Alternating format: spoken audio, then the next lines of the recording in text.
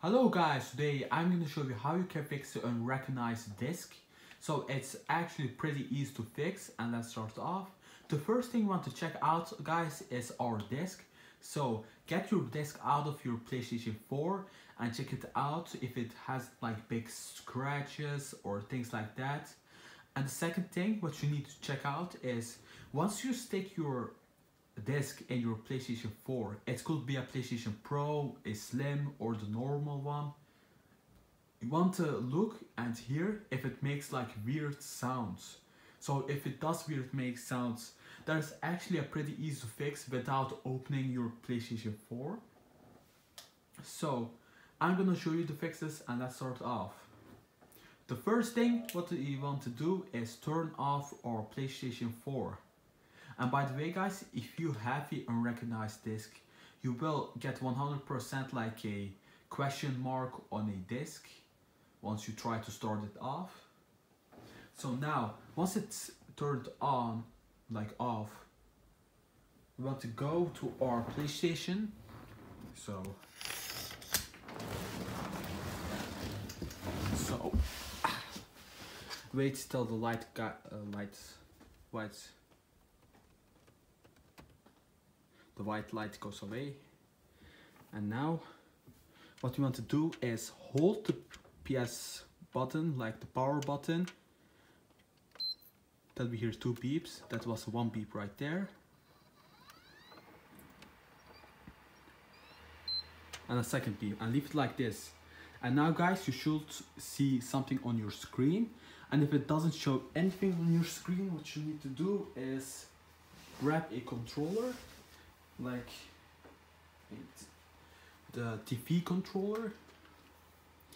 Go on source and just change the plug on PlayStation 4 or whatever HDMI it is on. And now guys let's go on. And now guys you are safely on safe mode. And it will tell you to connect your DualShock 4 using the USB cable and then press the PS button. You want to exactly do that. And now we get a couple options. So you want to actually focus on one thing and that's number three, update system software. Once you click on it, you will get another option like three options. You want to use the dirt option, update using internet.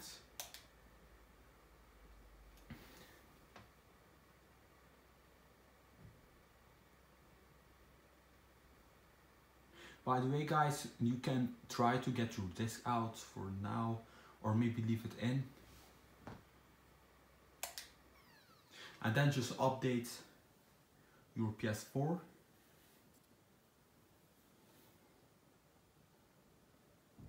So guys, this could be a fix for your problem, the unrecognized disk problem, or fix, solution, what you want to call it. I'm actually gonna skip a little bit forwards till it updates. So guys, once it's updated, you want to get your disk out and back again.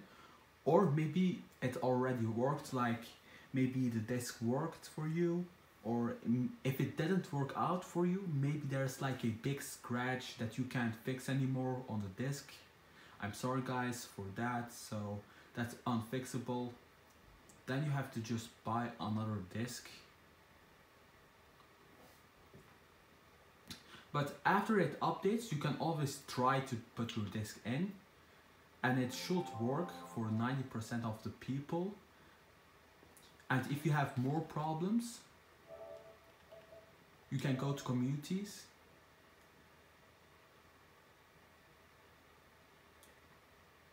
And you can join this error fix community and Qieri we will help you with these type of problems, errors, regular PlayStation problems. You can ask anything, all problems.